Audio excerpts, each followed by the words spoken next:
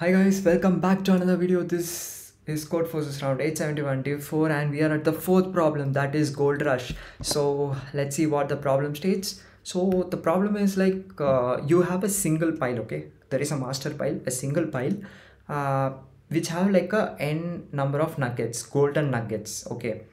They are telling that you you can take that pile and split it into two piles, okay? One pile you can split it, but the splitting condition should be that one of the resulting piles has exactly twice as many gold nuggets as the other. That means what? If you have six number of nuggets in the pile, you can split it as only two and four because one of the pile has exactly twice as many as gold nuggets as the other. The other is two, four is twice as many as two. Twice as many as two is four, right? Yeah, so two into two is four. So four, two, four plus two is six. So maybe you might be confused but let me uh, share with an example. How can you split 18 so one of the piles should have twice as many things as the other. So you can write it as 6 and 12 so 12 is a twice as many as 6 but you can't write as 10 plus 8 or 15 plus 3 everything is wrong because 3 into 2 is only 6 and 8 into 2 is 16 so only this is possible. So this is the operation they have defined. They're asking that can you make a pile with exactly m gold nuggets using zero or more operations? So this is one operation. They will give you one master pile. Using all these set of operations is it possible whether you are able to get m possible nuggets or not? Now uh, what are the things we got here? We got uh, from this we got it. So suppose if they say something like 27 and 38 from 27 nuggets is it possible to get 38 it is definitely not possible right? Even if you see the test case here right? There is a test case called 18 and 27 for 18 and 27 the answer is no. You just have to print yes or no. It is no because only we have 27 nuggets. We can't increase the nugget value. So it is not possible. And let's try to find out uh, are there any other conditions that is satisfying or any other patterns that are there? So how are they splitting it initially? So if x is the number let's say uh, 6 they are splitting it to 2 plus 4 so uh, for let's say 2 is x the other value should be 2x right? Do I make sense? Because if this is there this should be 2x if this is 2x plus x this is what? 3x i don't know this. I came from the reverse order. I want to see the pattern.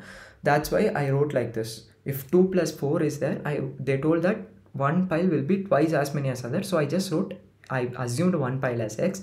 So it will be 2x and this will be 3x now what do i know before? I know the value of 3x 3x value i already know it as n. This they will give in the question.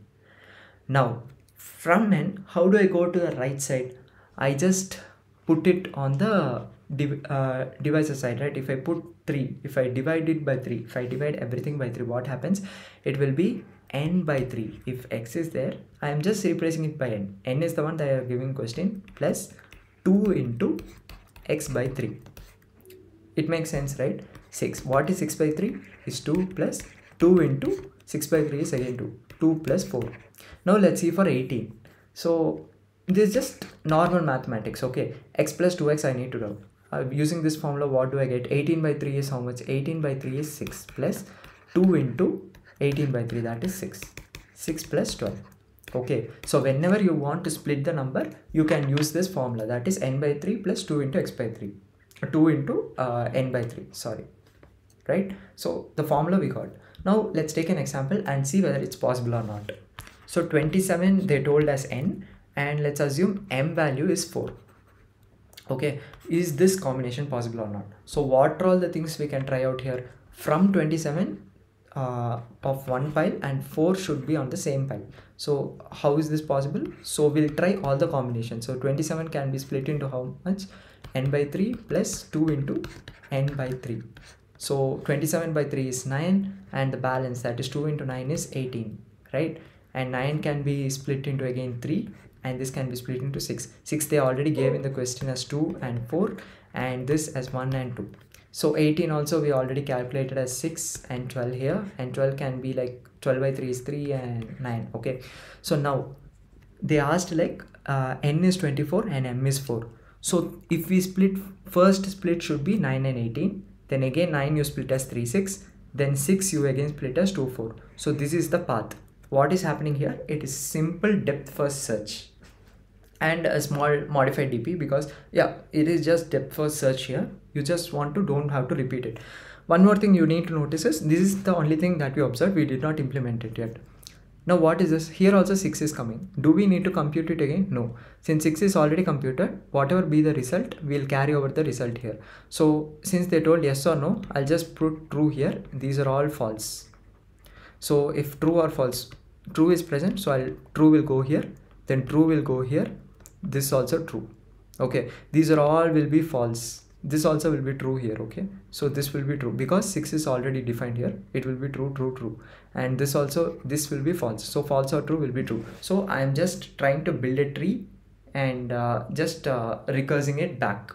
So uh, we can do it with for loop or any other condition. It might be hard but the most simplest way is we can just do recursion using all the conditions. So i'll show you the code then it will be very easier. So it's straightforward. The only thing is you just want to derive this formula from the question itself. That also they give now how did we do it? Uh, we have n here and m here. I have a thing called as recurse and there is an array called as visited because as we saw uh, 6 is coming as a duplicate number right? 6 is coming as a duplicate number. Again we don't have to compute the n by 3 and n by 3 into two values so that's why i kept. Now you simply go here. Let's see what does it say. So n if n equal to equal to m n means uh see suppose this is 27 and this is 4 means n is this and m is this. Using this 27 only i'm splitting the value. So for each function on the iteration the 27 value actually changes. So that's why i'm putting as n. If n equal to equal to n whenever 27 becomes as 4 you return true. What are the conditions? That is base condition. This number should never be bigger right? So always n should be greater and n should be divisible by 3 so if a number is 10 you can never split something like uh, 2 uh, times of the other number. So it will be x and 2x x plus x is 2x 3x it is not 10 is not divisible by 3 so it is not possible. So this condition also you keep. Now not visited dot count of n by 3 as you saw earlier 6 is coming two times. So if it is already visited you just put uh, you don't have to iterate that at all because that value is already sent back now this is a kind of like a map right? Visited of n by 3 if let's assume that n by 3 is 6 here recurse the 6 value with m. So we are checking that whether 6 can be split into 4 or not. So then not visited of n by 3 into 2 this is the second part. So how did we do? n by 3 is there and n by 3 into 2 is there. Using this many branches will come right? This n by 3 also come n by 3 into 2 so all these branches we are checking whether n by 3 into 2 is visited. If it is not visited recurse this. The result will be pushed back to visit of n by 3 now return of visited of n by 3 or visited of n by 3 into 2 that means what? Uh, here uh, we have tried it right? True or false? So this is visited of n by 3 this is of visited of n by 3 into 2 this can be true and this can be false. So you keep or condition here. The or condition will be here. Then again it goes back goes here and it goes here. So uh, that's it. And if there is any base condition that comes other than this you return false. So whatever be the condition you get you print yes. If you are totally new to recursion or dfs make sure you just learn. But i hope uh, since this is straightforward uh, i just explained in this sense. So if you have any doubts please feel free to ask me in the comment section. I'll try my best to answer. But i guess like if you have dfs or some approach it will be better. So that's it guys. And uh, the coding details it's also accepted. The submission number is here. I'll link it to the description. So once the hacking phase is over you will be able to access it. So that's it guys. Thank you so much. And uh, see you in the next problem